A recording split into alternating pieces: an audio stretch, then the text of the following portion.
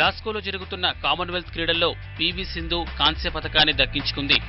మూడో స్థానం కోసం జరిగిన పోరులో మలేషియా క్రీడాకారిణిని మట్టి కనిపించింది అయితే తొలి గేమ్ హోరాహోరీగా సాగింది. చివరి వరకు నువ్వా నేనా అన్నట్టు సాగడంతో చెమటోడాల్సి వచ్చింది. ఇరవై మూడు ఇరవై ఒకటి తేడాతో సింధు పైచేయి సాధించింది.